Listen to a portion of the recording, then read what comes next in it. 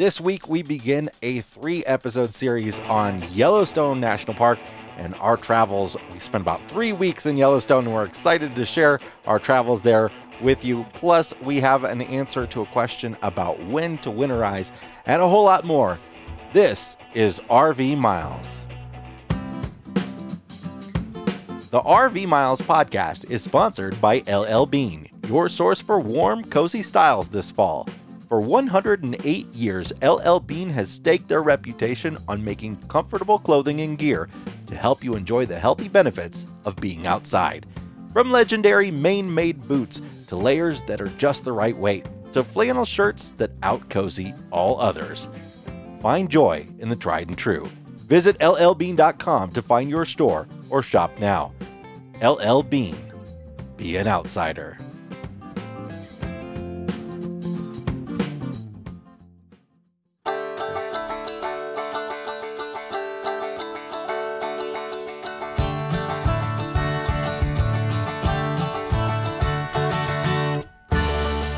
Welcome to episode 163 of RV Miles. I'm Jason. And I'm Abby, and we are two full time travelers who, along with our boys, Jack, Ethan, and Henry, are crisscrossing North America on one epic road trip.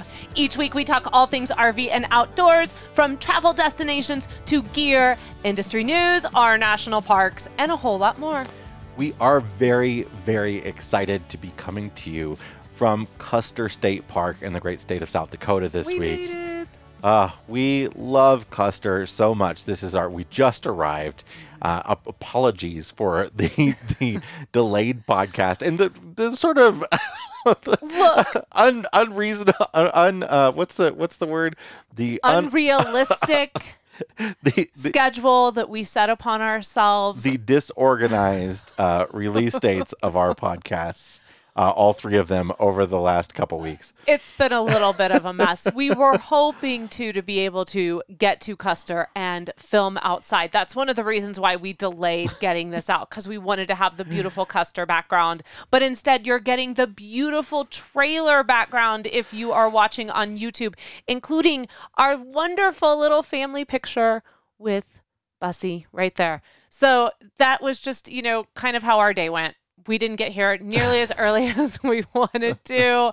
And that's just kind of how the last couple weeks have been as we continue to make our way to colder destinations because why would we want to be warm? well, fall fall is definitely here. Yes. I got my I got my flannel on. Finally get to wear my my good LL Bean flannel. Speaking of cozy flannels, you wasted no time. I actually have my cozy slippers on because it's cold. We uh, spent a great week at the Rocky Point Recreation Area, another South Dakota state park, before coming here, which was just sort of actually I never left that campground.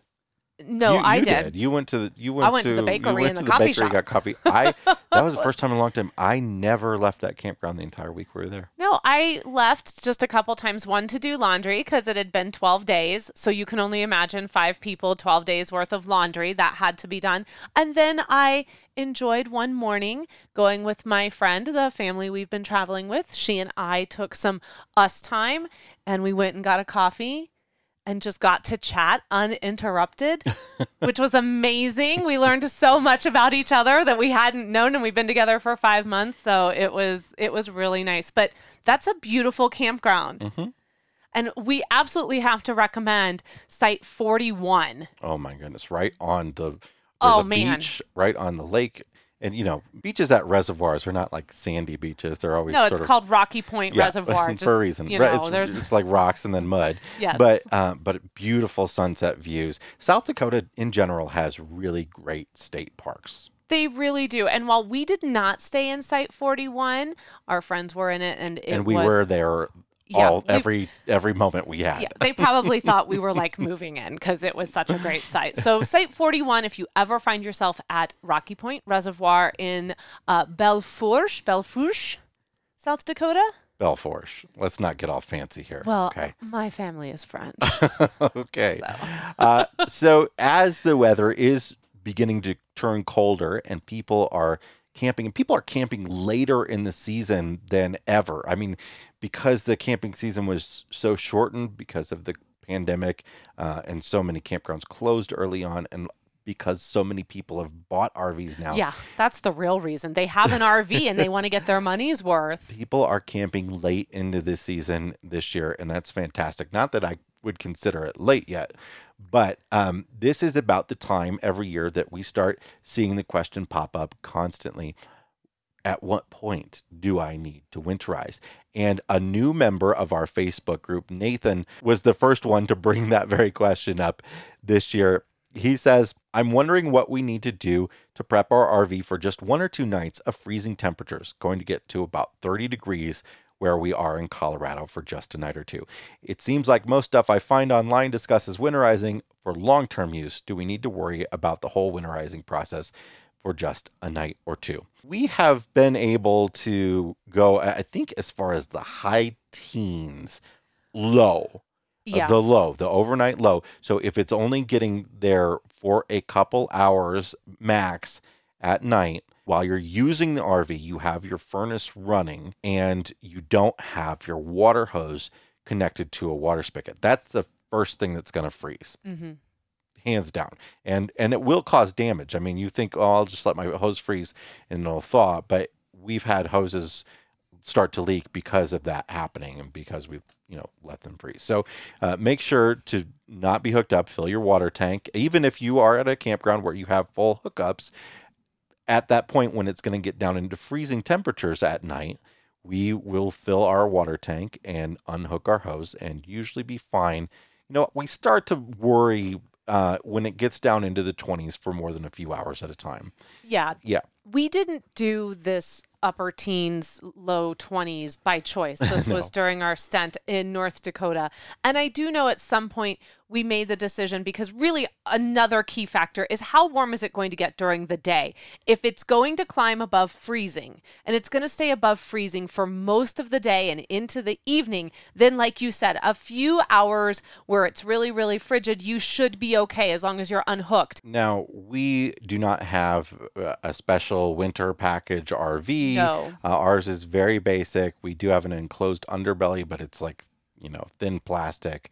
Um, so, you know, if your RV is is set up for going deeper into colder temperatures, you can probably go further. I know Nathan mentioned that they have tank heaters.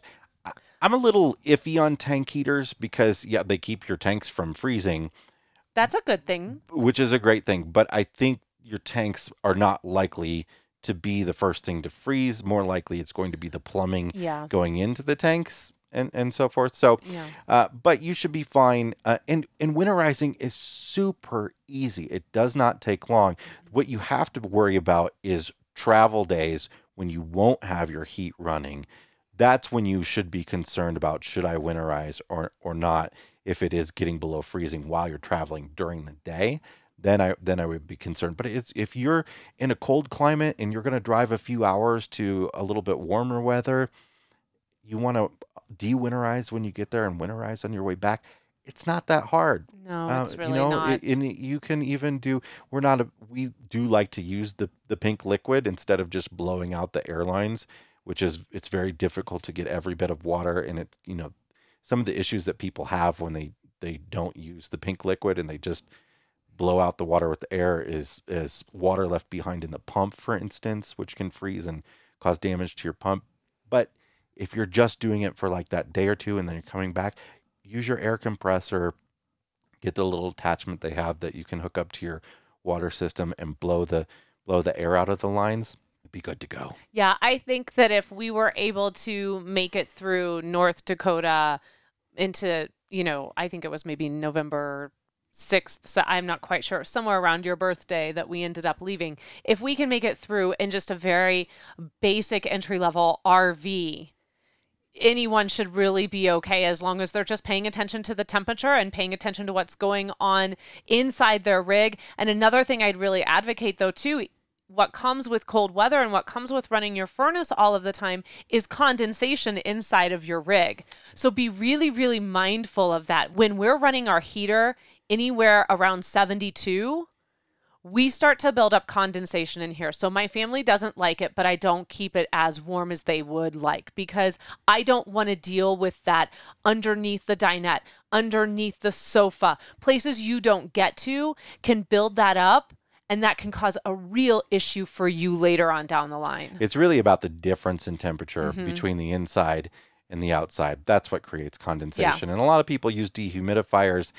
It honestly, I would rather you low the lower the temperature than using a dehumidifier because it's unhealthy to to have I mean, it's okay to use a dehumidifier, don't get me wrong, especially Right. if you're in a humid area. But if you're sitting at like, you know, 25% humidity already, you're going to drop that lower. you- You're getting into real unhealthy territory there. You know, you really should be having moisture enter your lungs. That's a good thing for your body. So I, I It's would, just yeah. not a good thing for your RV. it's, it's not. no. It's not. So I want to ask you, as our question of the week, how late into the camping season, if you are in a colder climate, do you go camping and uh, do you winterize, de-winterize, or do you just winterize it and put it away for for the winter and are a warm weather camper only? Answer in the comments on YouTube. If you're watching the YouTube version of this podcast, if you're not, you can just go there and ask the question anyway. If you had really been thinking about it, you should have said, Our question of the week is, How low can you go? So You're uh, welcome. You're welcome, America. I'm glad we don't have an audience here so that you couldn't hear the groan. That's Uh, exactly the whole point. You need the groan. You need it's it's like I'm sitting here in a football stadium right now playing a game and I got nobody who's responding to me.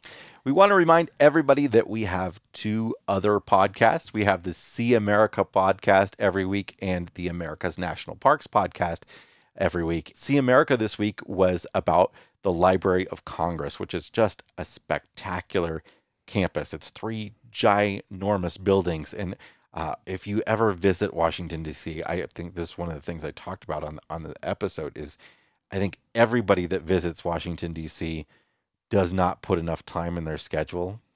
And and we certainly did that Oh, on know. our first visit. Yeah. And there is just so much great to do there. So check that out uh, and hear about the Library of Congress.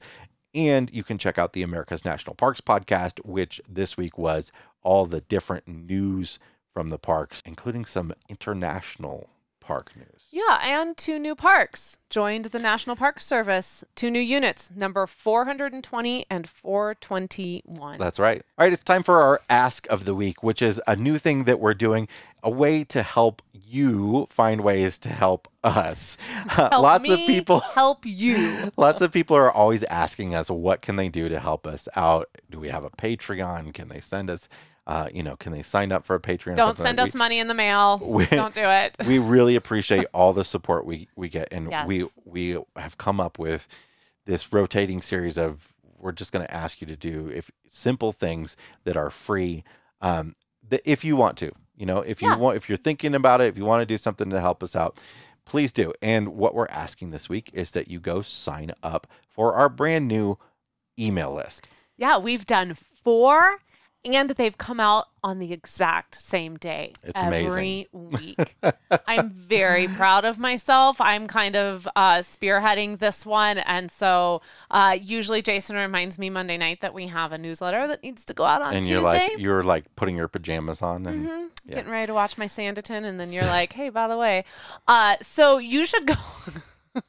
so if you would like to see what we're putting out every week, it's RV news, it's camping news, it's about the RV lifestyle, it's a little bit about what we're up to, maybe a little bit closer inside look at where we've been, what we've been doing. There's trivia, of course, because it's RV miles.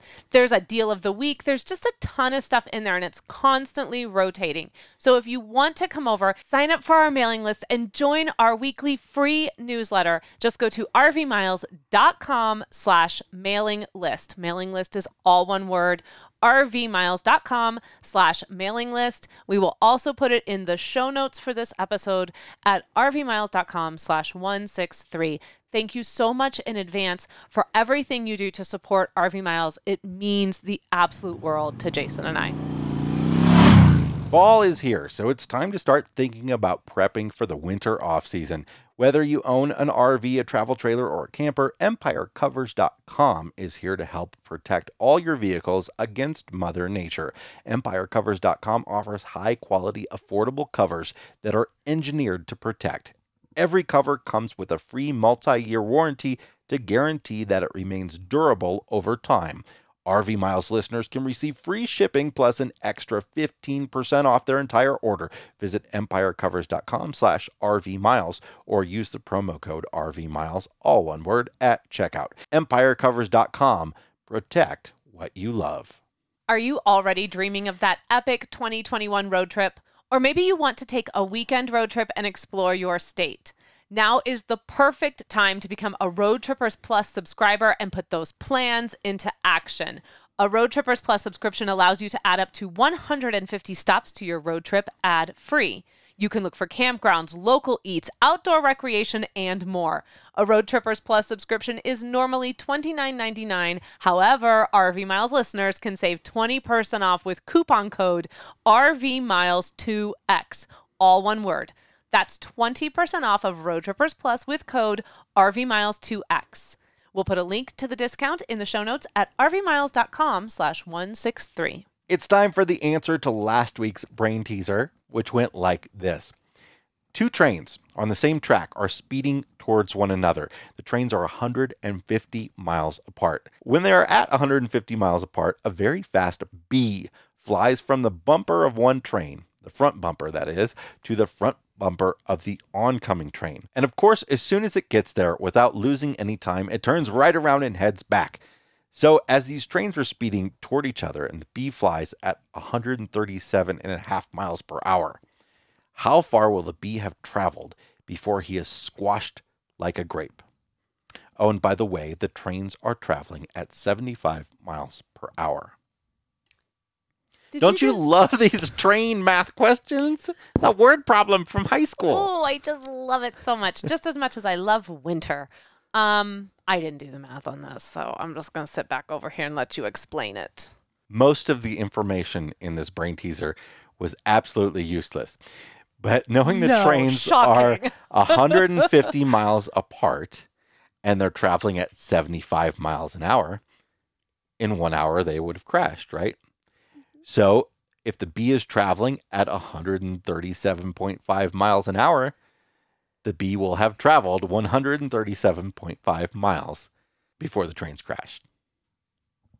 Today, we want to talk about Yellowstone. This is going to be the first of three episodes that we're going to talk about our trip to Yellowstone because we spent so much time there, which was just fantastic. And uh, it is such a huge park. There is a heck of a lot to know about, and we didn't want to try to cram it all into one episode. So we're going to give you it in short pieces here so that you can digest it, right? Well, because the world is also happening around us as we talk about Yellowstone. There's always things to talk about in the RV industry and in the camping world. And, you know, I know in the past we used to do these travel recaps that would be like two segments. And then the podcast episode would be like an hour and 15 minutes long. Ain't nobody got time for that. Even in the middle of a pandemic, ain't nobody got time for an hour and 15 minutes I on do. Yellowstone. I, I know you do, but So Abby doesn't have time. So, on this episode, we're going to do kind of an overview of the park, and then we're going to talk about West Yellowstone, which is where we stayed uh, for the majority uh, of our time Yeah. at the park. So, first of all, Yellowstone is a massive park. It is so big. Yeah. And don't think you're going to stay near one entrance and really actually see all of the park. just to give you an Not. idea, so the, the the Grand Loop Road, which is sort of the main way you access anything in Yellowstone, it's a giant figure eight that goes through the park. Just to do the bottom part portion, the bottom circle of the, The, figure southern eight, loop. took us two and a half hours of driving time only without stops Yes. just to drive that. So you want to spend one day doing that, and you stop at several overlooks and the little short trails to different geothermal uh, features.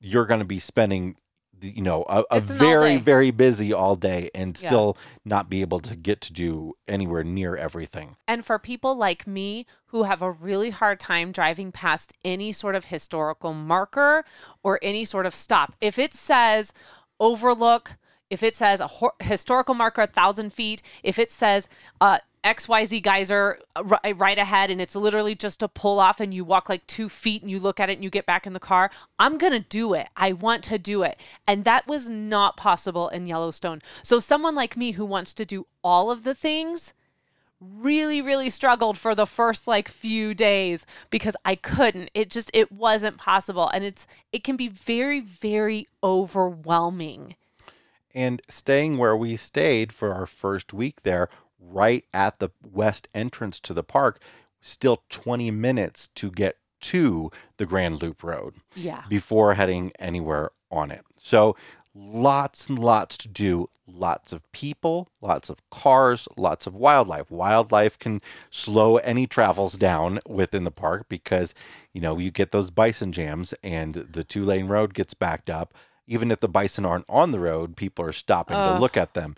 So there there's lots that can slow you down. So it's a park that you have to really take your time and make a plan for if you are traveling in a motor home that is of decent size, so not like a class B or a real small class, class C, A a lot of people rent cars if you don't take a car with you, additional towed vehicle. A lot of people rent cars when they get to Yellowstone because it is difficult to travel around Yellowstone, visit sites in a large motorhome. They do have motorhome parking at a lot of the uh, trailhead overlook type places. Uh, but sometimes you're not going to be able to fit in those parking lots. You're going to have to park down the road and walk back, Well- or you won't get in at all. listen honestly the real issue with those parking spots is there will be people out there in their little tiny Fiats Yeah, filling up them all. that take them. Yeah. And that was something that, you know, was really frustrating. And actually, a few of you commented on some of our Yellowstone pictures about that, like the frustration of pulling into the parking lot and having these, what are clearly marked as designated RV spots. And then seeing cars parked in them because the cars have come in and the parking lot area for the cars is completely filled. So they say, okay, I'm just going to go ahead and take this spot. Well, now you've compromised someone in their big class A who's coming in to take one of those RV spots because they can't get into it anymore. Now, I'm not saying that you can't tour Yellowstone in a large motorhome. Uh, lots of people do. Lots of people were doing it when we were there. Uh, definitely, lots of rental RVs do. It, it's just something to think about and be careful about. But especially this year, we didn't experience this, uh, but in most years, there are also lots of tour buses in addition to large RVs. So it's just you you you're going to uh, be limited a little bit on the stuff that you'll want to try to do because you want to have an experience where you can, you can park your motorhome and then um, you know go explore an area for a while without having to hop from stop to stop in something massive. Now the the nice thing about having a motorhome, the flip side to this in Yellowstone is the fact that you can you know just hop in and get your meals Yeah. and go to the restroom and all that sort of stuff and move to the next site which we saw a lot of people doing in their little class Bs and got us really thinking Yeah. hmm, in the future Yeah. hmm Yellowstone was made for class B driving. yeah For sure. So, what a lot of people do when they camp at Yellowstone, and this is probably the best way to do Yellowstone, is utilize Yellowstone's campgrounds and not stay at the same one the whole time. Move between them. You stay in an area and then visit that area and move to another campground and visit that area. That's a little bit challenging mm-hmm. because there's only one campground in Yellowstone with hookups, Fishing Bridge, and it has been closed for the past two seasons and it will be closed all next season as well. If you didn't know that, uh, they announced uh, late last month, I believe, that Fishing Bridge will be closed for yet another entire camping season. I believe it's they were talking about opening September 2021. That's their plan this Yeah. September. The thing with Fishing Bridge too is that it's not cheap to stay at Fishing Bridge. No, it's like for us, I think I, I think they do charge per person beyond twos. I think it was 85. Yeah. something like that will be what it would cost if we wanted to stay in Fishing Bridge. You weigh that up against, though, the amount of fuel you're going to spend coming in and out of the park every single day. And it's absolutely worth it. I can understand why it's so popular and why everyone wants to do it. We certainly, being right there at the West Yellowstone entrance, we put an insane amount of miles on that truck while we were there. So much so that we needed to get an oil change afterwards because we were over. We spent a decent amount on fuel.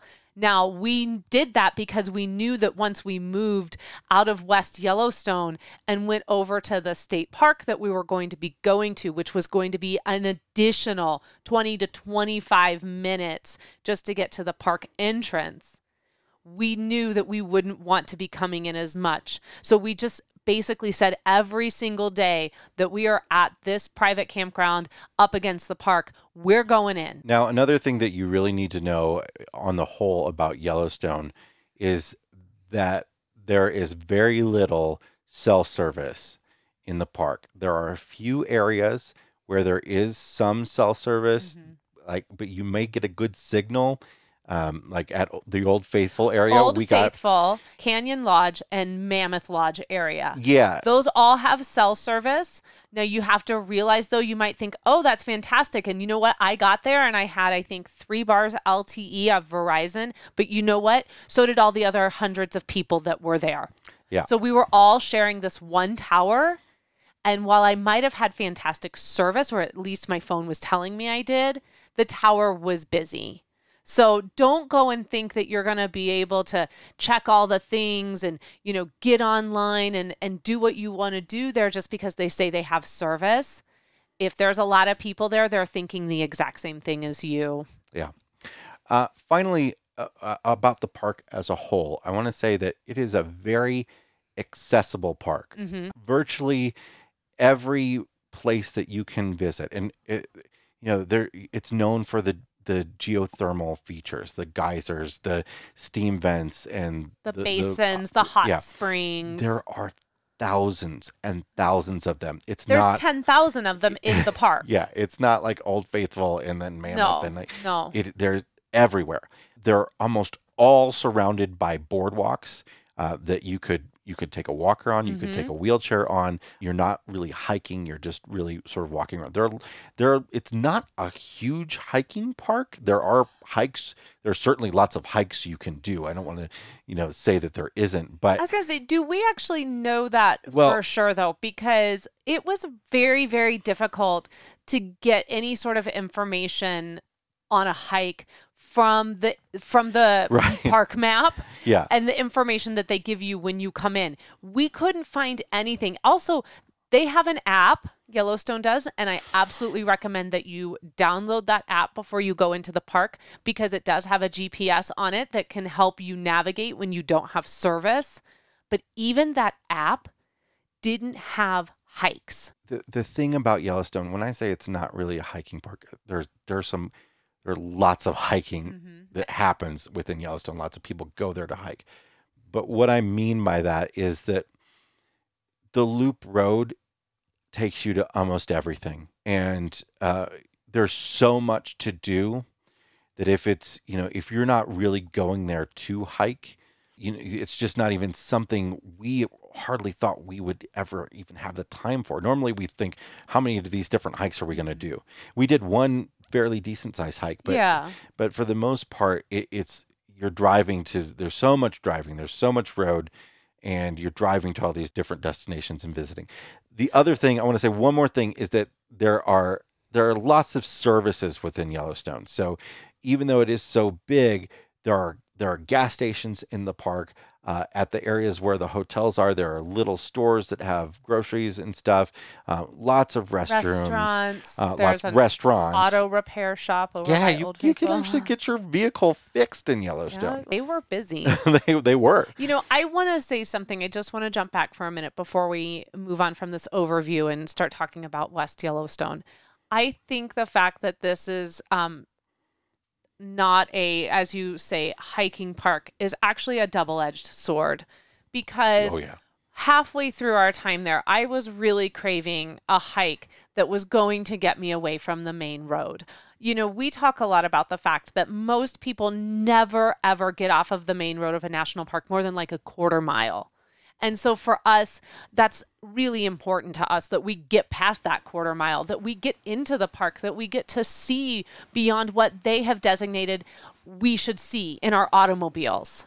And it was really, really hard for us to do that because it's such a visual park. I mean, there's just so much to see and do. But I really, really was craving yeah. a way to, to connect with the park that didn't need me to pull off into a parking lot and then walk on a boardwalk or you know walk with with everybody else. But even Does that I don't yeah, know if that makes sense. One hundred percent. But even those boardwalky type areas, a lot of people just go to the thing, the main thing that it's known for, the thing in front. And yeah. then often there's a lot more to that area. Even like Old Faithful, mm-hmm. you, they go to Old Faithful and they look at Old Faithful and they move on, forgetting that it is there's a beautiful it, it, walk behind it. The upper guy, it's the whole upper it's geyser basin, and it's some of the most famous geysers other than Old Faithful are right there.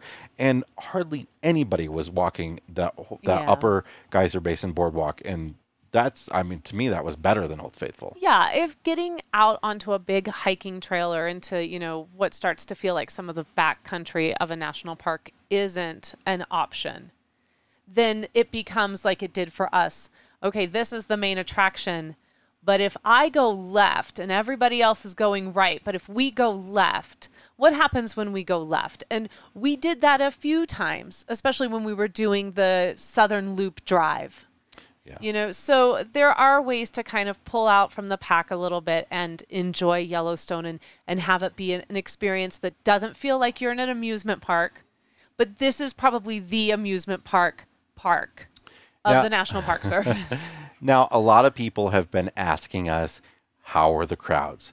And um, let me say, first of all, that August awesome. August was uh, 10% more visitation this August than last August at Yellowstone. I don't understand that, Jason. But when we were there at the very end of August into September, mm-hmm great. There's nobody. It was great. There were a few days where it got really busy, especially Labor Day weekend. And the and the week following. Um, but it wasn't terrible by any means. No.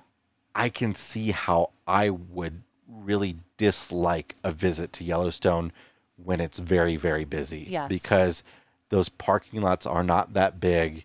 And many of them, even without the park being very full, were the the parking lots themselves were, were, getting pretty full for yeah. us. So I the difficulty of wanting to go to a place not being able to park that would annoy the heck out of me. Oh, absolutely. We just really caught lightning in a bottle yeah. while we were there. Yeah, we and were lucky. There were times when we felt like we had the whole park to ourselves and we would just be, you know, having a picnic somewhere. And that's all stuff we're going to cover in a future episode, but you know, if you're thinking there's no way I can go to Yellowstone and I'm not going to be with like 500,000 of my closest friends, well, we're here to tell you. I don't know if it's just because, you know, we're in the middle of a pandemic, but, you know, they're crushing numbers in the National Park Service right now when it comes to visitation.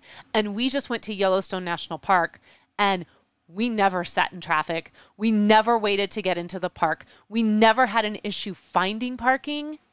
I it, it blows my mind. I think there was a lot of indifference um, from people be- about the fire and smoke For as, sure. as well. And it was a great park. Actually, we were a little concerned about smoke, but it was a great park to visit during a smoky period because everything is sort of low and in front of you there. and available, as opposed to like Grand Tetons right nearby, where if you can't see the Tetons, you might be a little disappointed. It is disappointing when you can't see the Tetons. Okay. so we uh, spent our uh, first week at Yellowstone in the town of West Yellowstone. And mm-hmm. our second two weeks were beyond the town of West Yellowstone, but we were coming from that entrance. So the town of West Yellowstone is sort of the main gateway community for the park.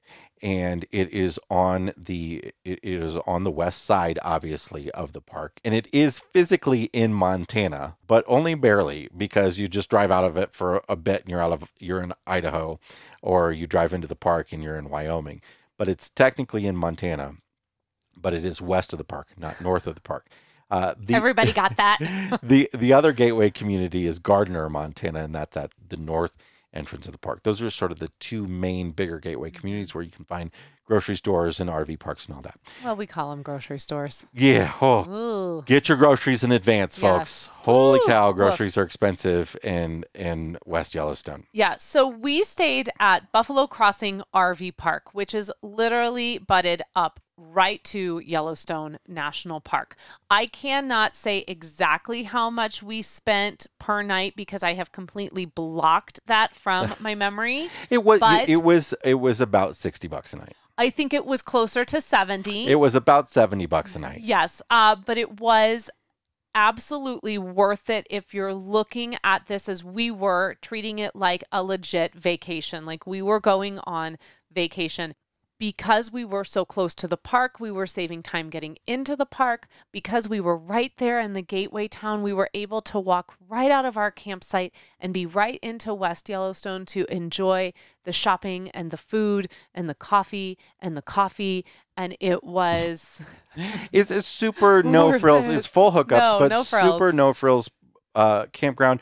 Very small sites, but very clean. Uh, Mhm. And but the, really the the benefit here is not only being close to that entrance, but what we really loved was just being able to walk out of the campground and just be in downtown West Yellowstone and explore the shops and the restaurants and all that sort of stuff. Yeah. It's also in it, it's in the same complex as the big IMAX theater, and, and so the IMAX theater is actually in the parking lot of of this uh, campground, and there's a really good gift shop in the in there. as Probably well. my Yeah. favorite gift shop there in West Yellowstone, and it's called the uh, Yellowstone It's the YNP, right? Yellowstone Trading Post. YTP. Why? Yes. Yes. The It- Yellowstone Trading Post, and they have a deal with this campground that you get twenty five percent off anything that you purchase. They also give you a discount on the IMAX movies. Yes. And this gift shop has 50 cent cones of Huckleberry Mhm. ice cream. Yeah. And you don't have to be staying at the RV park to take advantage of that. So if you find yourself in West Yellowstone, go over to YTP, go inside and get 50 cent huckleberry cones. It's absolutely worth it. Plus, they had some really, really great stuff in there. It's not kitschy. It's not like, you know, you walk out and you buy that t shirt and then like you go to put it on a month later and you think, oh, I was so swept up in being in this place. But oh man, why did I buy that shirt? It, there's it's not that. We get some really really great looking stuff i think that's going to stick with us for a really long time from there. Um, and it's just nice that your campsite in your campground is right there. Buffalo crossing has laundry on premise. It's not horribly expensive. It's expensive but it's not horrible. I've certainly seen worse.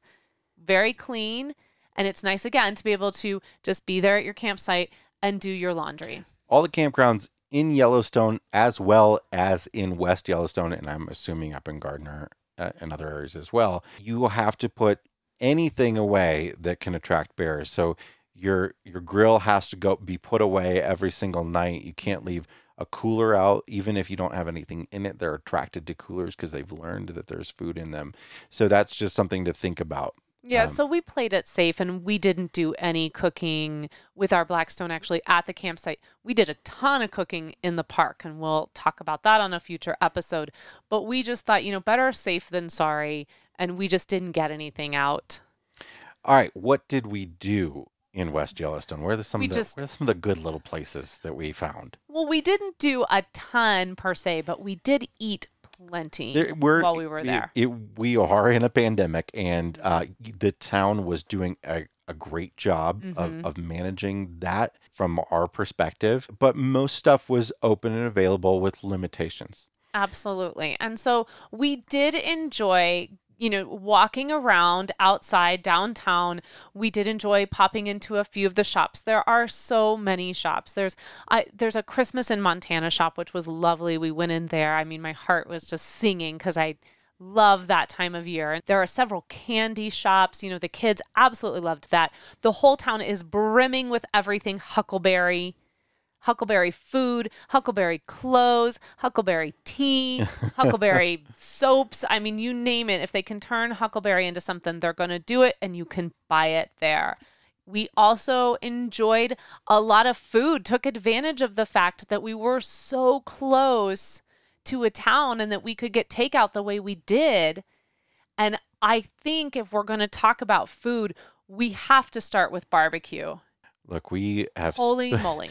We have spent a lot of time in some places well known for their barbecue, and I, you know I think there is a little bit of like I don't know why people get so caught up on oh if you're in this certain area that's where the barbecue is. Well, people you know people move around the country. Like if a, a good chef from Kansas City who makes Kansas City barbecue You better take moves to him. another town, that doesn't mean it's not good barbecue anymore because he's not in Kansas City.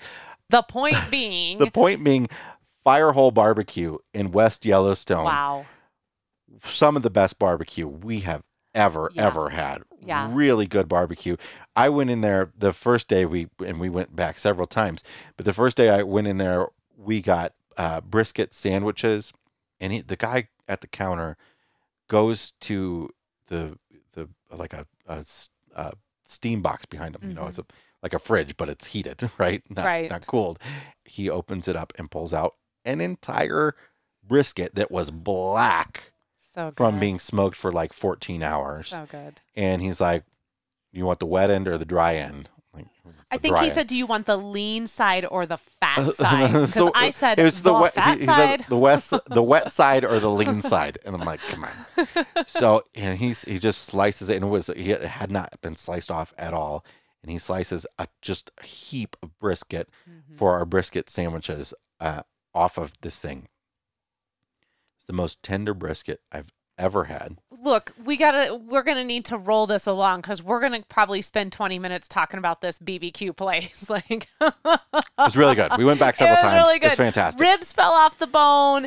All the sides were great. Please go if you're there. They do this thing though that they open and once it's gone, it's gone. You'll find a And lot of go. barbecue places Yeah. across the country do that. They, you know, they make what they make overnight. Yeah. And uh, when they open in the morning at 10 or whatever, when it's It's gone, gone. it's gone. It's Uh, gone. We came in really, really late one night from the park. I think it was like 10, 10 30 by the time we got home. And the whole air just smelled like barbecue because it was there's two barbecue places in West Yellowstone.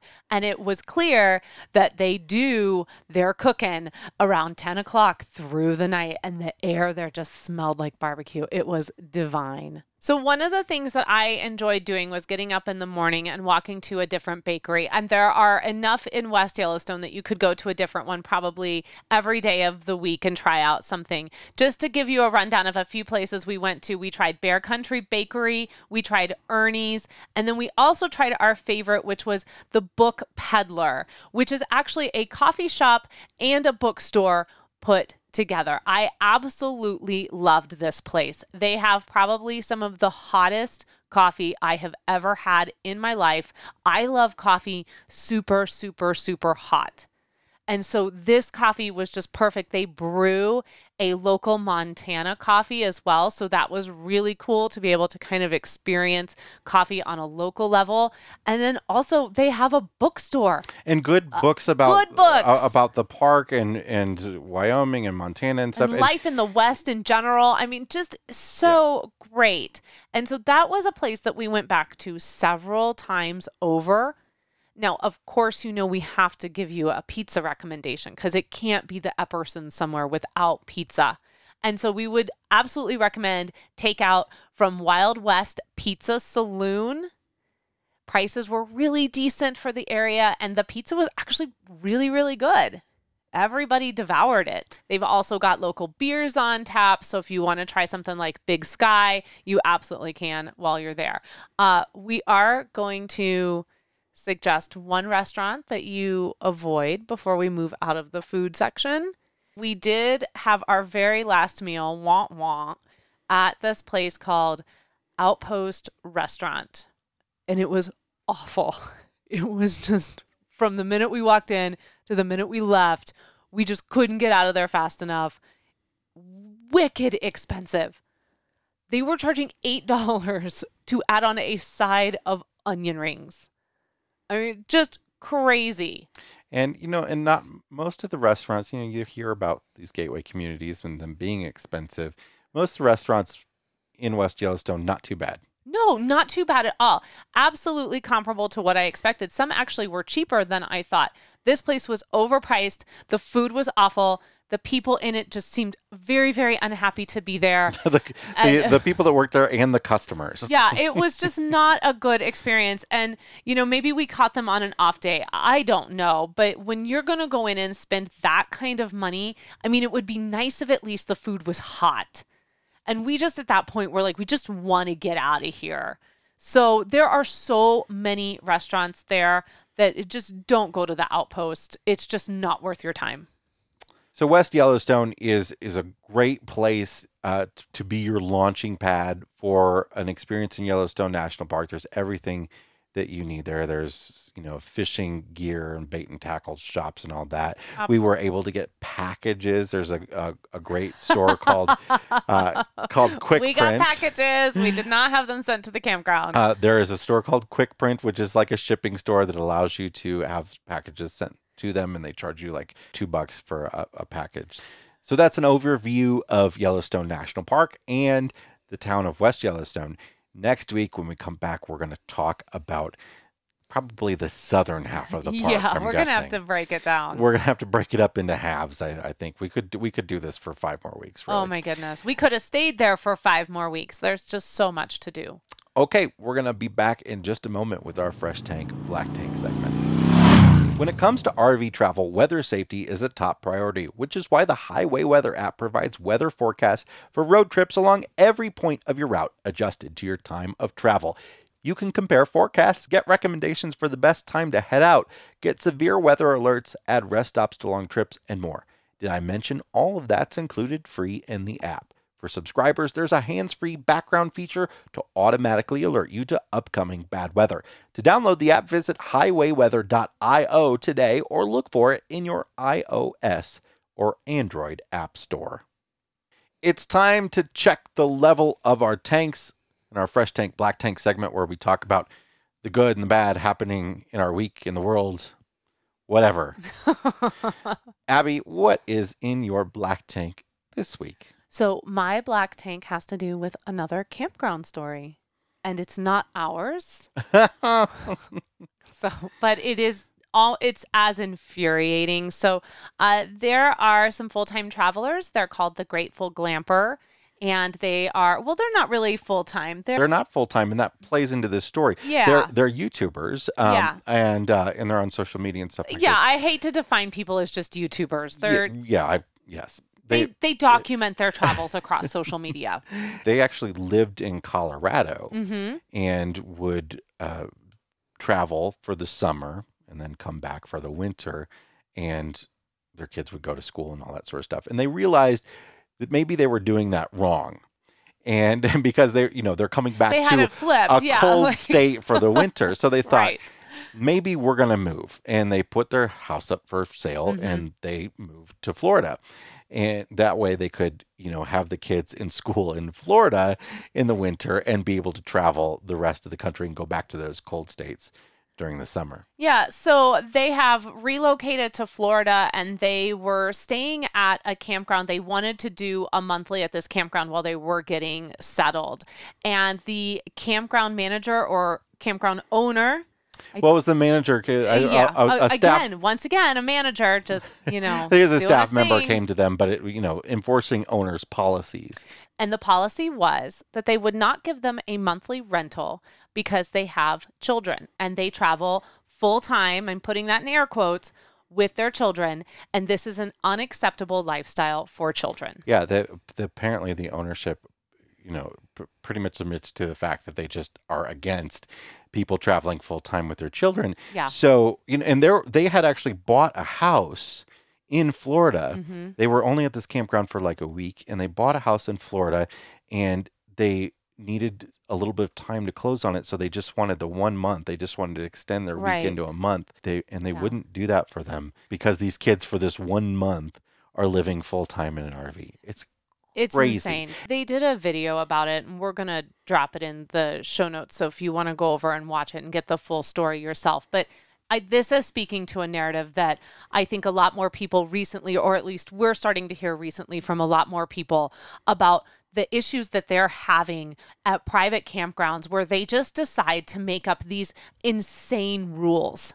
Well, I think especially as campgrounds get busier and bus- busier, if they Mm-hmm. don't have a need for for business, if they don't have a need to provide good customer service, then they stop doing it.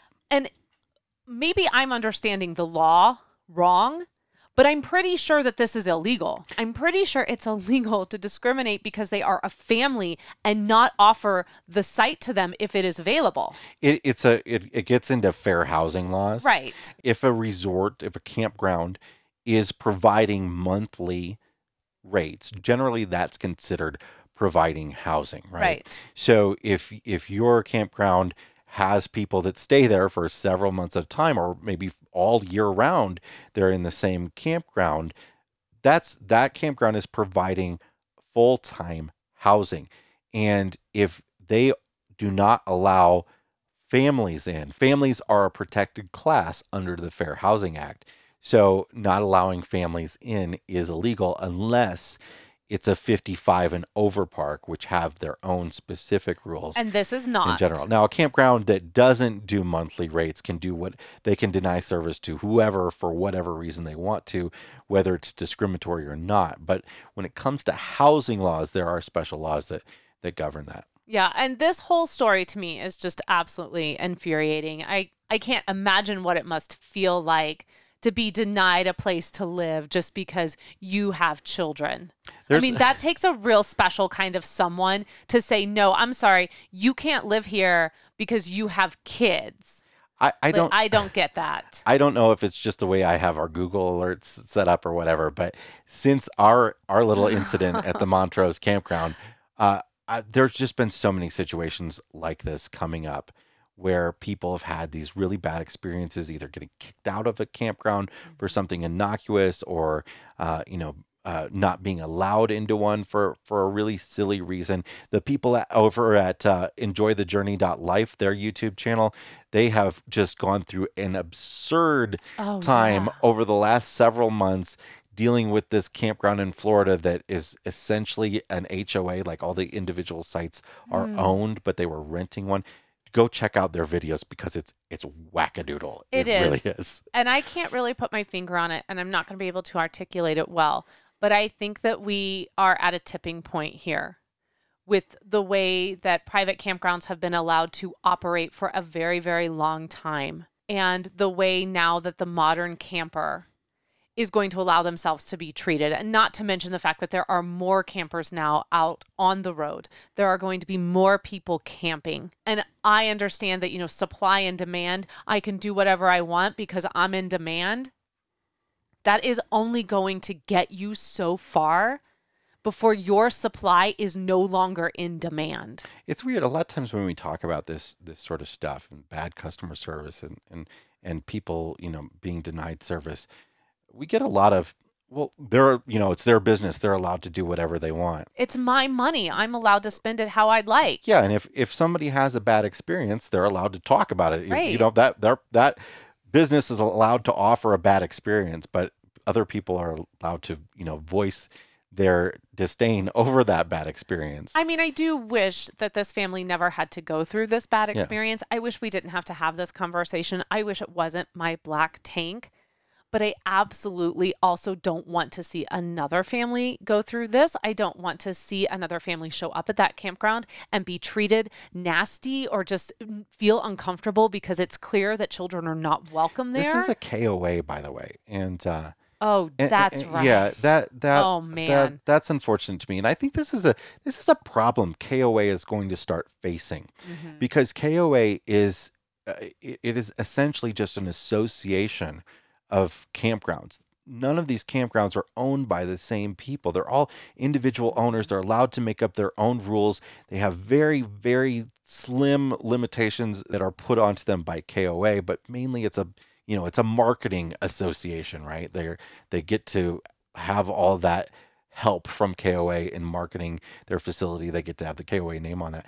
And I I feel like KOA, you know, it's not like going to McDonald's. McDonald's are all owned by different people. A lot Yeah. of them are, but McDonald's has very strict regimentated way that those businesses Right. have to operate and you're going to get the same experience generally going into McDonald's. Not not saying McDonald's is great by any means, No, they're not a business model we're advocating or anything. but that's how most franchises work, right? Mhm. Um, but KOA doesn't quite work that way, and I think KOA is going to need to start, you know, looking at how it it works with these different businesses. Same thing with Jellystone as well. All right, what's your fresh tank this week? So, my fresh tank this week is going to go out to a book series that our entire family has absolutely been devouring. It's not super new, it's been out for a while, but it's called The Land of Stories and it's by Chris Colfer. He has just written this phenomenal piece of fiction that our whole family is really devouring. If you love Harry Potter, but you're feeling a little icky about J.K. Rowling right now, then this is the series you want to go and dive into. We have been listening to it in the truck. We listened to it all through Yellowstone. That's what we did as we were driving around. What a perfect place to listen to it. Perfect. And I would say you don't even need to have kids in order to enjoy this. I mean, we Jason and I are laughing. It's written really, really, really well. And it's, I believe there are six, maybe seven books at this point. We're on book three. The whole premise is that it, it's sort of all the fairy tales that you grew up Mm-hmm. knowing uh, are real and they take place in another dimension. Yeah. And uh, It's really yeah, smart. it's fantastic. All right, Jay, what is in your black tank this week? there there are a lot of new updates to RVs that are being announced right now. This is sort of the time of year that that often happens. New floor plans, um, just new refreshes of models and new models. And what I'm noticing a lot happening this year is there are many RVs that are now going to be shipping with solar pre-installed. Awesome, right? Mm-hmm. The problem is almost every single one of them is a single 100 watt solar panel. Do you know how much a 100 watt solar panel costs? It's about 90 bucks. What? There is That's all they're putting on there? That's all they're putting on there. It is, and this has been uh, this That is isn't even going to power my coffee pot. this is something I'm really noticing a lot lately, and I think I talked about this a little bit a couple weeks ago. Um, there are very inexpensive things that manufacturers are starting to throw on RVs just to entice you. Mhm. And if you're somebody who thinks I want an RV with solar, who wouldn't? I'm going to buy this one because it has solar on it. That 100 watt panel is going to do nothing for you. It's going to do, I mean, it, it may keep your LED lights running, but if you want to, that will, that won't even refresh your battery No. to run the fan in your bathroom overnight. 100 watts is Ugh. not much at all. And there's no reason they couldn't put, you know, two 200 watt panels, quadruple it for a, for, you know, $300 total. It's just to be able to use a buzzword, a It- selling a selling word. It's like the outdoor shower, you They're- know. They're doing this with Wi-Fi antennas. They're doing this with backup camera pre-wiring, solar pre-wiring. Uh, just lots of little. You just have to be careful because there are lots of these little tiny things that don't cost them much money at all. What is great is that if you're buying an RV with that 100 watts of solar, you know, maybe it comes with a 2000 watt inverter and it comes with the solar charger. And those are the things that you need to expand on your solar system. And you could go then expand on your solar system. But 100 watt panels in general are, you know, they're, they're sort of not something that people look at buying anymore because it's taking up a large amount of space for a low wattage when you can get a 200 watt, a 300 watt panel that are not much bigger. eh, You know, so it's taking up the same amount of roof space. Why get a 100 watt panel when Yeah. you can get more? You know, sometimes people buy 400 watt panels. Well, why do that when you can buy, you know, two 200 watt panels and take half as much roof space up? So it uh, it would be really disappointing to me to buy an RV and it only had one 100 watt roof panel on it. It'll keep Especially your when you go to use it. the the one nice thing about that is that if you do store your RV outside while you're not using it, it will keep your battery topped off for Mhm. that that kind of period. uh, but it's not going to help you get through a, a boondocking session. No, not at all. All right, what is in your fresh tank this week? Uh, my fresh tank is a new belt I found, and I actually found it at that gift shop at that campground that we stayed at in West Yellowstone, Trading Post. Yeah. Yellowstone Trading Post. Uh, this is a belt by a company called Arcade, and I, uh, you know, I I'm a I'm a little bit bigger guy. I have no waist whatsoever, so I have a hard time keeping my pants up. All right. Oh yeah. I mean, to the point where I'm like Oh, yeah. considering suspenders. no, Okay. no, we're not going we're not considering suspenders. We're considering other things we need to do so we don't have to get suspenders. and when and regular belts like with the holes in the buckle like i have to tighten them several times throughout the day um, and i like the sort of strappy belts right? Mhm. uh, but they never hold my pants up ever. So uh, these belts by arcade are super lightweight. They're very elastic. So it is almost like adding the it's almost like adding an elastic waistband to your pants if you you know if you have you're wearing jeans Yeah, you're um, essentially turning them back into toddler wear. exactly Because all toddler jeans are elastic banded. and what's so great is there there's no metal in them so they're tsa friendly Mhm. and they uh, you can actually leave them in your pants and throw them in the washer if you want to and and Oh. not have to take them out Well, that has happened many times to a belt that was not washer friendly. But You uh, know- in my entire life, this is the first time I've been able to wear a belt and say like it is actually 100% working, and comfortable. Does not hurt at all because a lot of the belts I wear that you know, especially in a long driving day, that belt buckle will dig into my belly, and that.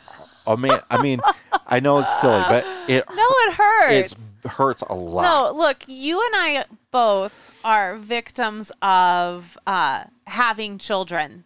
And you are a victim of yeah, it was rough on me. Yeah, know. you are a victim of having a wife when she was pregnant who only wanted like chicken fingers, french fries dipped in honey mustard dressing. You know, you're we are victims of those cravings that I was unable to deny the first time, the second time, and the third time. So as long as for the majority of the time we have been together, you have never had a belt that works for you. And it was just like the most, just the most, what is like such a special day for you when you Well, put this belt on and you were like, oh my God, it works. and they're awesome and outdoorsy and, Yeah. and great for sort of ad- adventure uh, type travel, which is great. and it's a great price point too. I think it was about $30 for the belt. At, at- in West Yellowstone at a gift shop. Hey, there you go. We'll link to it in the show notes though too if you want to go check out this belt that is making sure Jason doesn't have to buy suspenders. All right, let's wrap this episode up with a brain teaser. I am an odd number. Yes, I am. I am an odd number. Take away one letter and I become even. What number am I? We'll have the answer to that in a whole lot more. What, you want to answer? No, I wanted to say I selected this one. Oh, you did. You I did. did. We'll have the answer to that and a whole lot more on next week's episode of the RV Miles podcast. Yes, we will. And hey, we just want to remind you again if you are enjoying RV Miles, please head over to Apple Podcast and leave us a five star review. Thank you to everyone who has done that already. It's so great to hear from all of you, and it really is putting RV Miles in front of a whole new audience. Also, we want to remind you that RV Miles is all across social media, and we really want to encourage you to come join the RV Miles Facebook group. It's a nice, intimate group of people who are really, really kind and really do like to help one another out. So please come and join us if you haven't already. Until next week, thank you so much for joining us. Jason and I are so glad you are here and keep logging those RV miles. Bye, everybody.